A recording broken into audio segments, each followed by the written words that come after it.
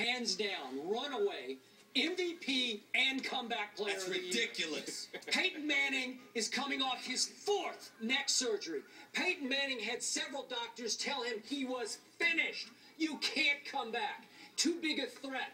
You're threatening your life, your ability to walk if you walk back out onto a football field. that. I do. The, the Indy doctors, that. they told him he was I don't finished. recall that. You The gotta trauma stop. here is overwhelming. Yeah, And, and what happened? I'm countering his drama.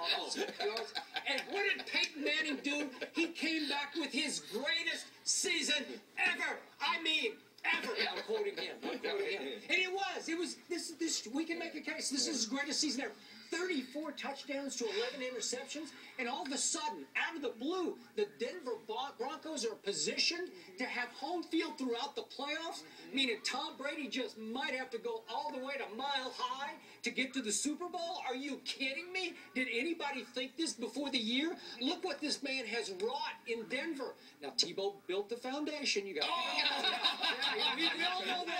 Oh, you the foundation on, built. I remember your ridiculous. comments at the, I that the receivers For- were forget I lousy out there last said year. Now, now let's go back. We, we glossed over what happened yesterday in Houston. We just glossed over it. Now, now the Vikings won, proving the Vikings have a really good football team.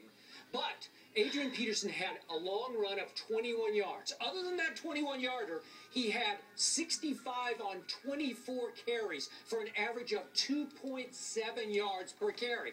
I know I'm picking nits here again. He's had a sensational year, we all agree. But if we're talking about Do I get to and this, respond? Do you, I get you to better respond? respond I because to I think you lost First the all- MVP of all, yesterday. first of all,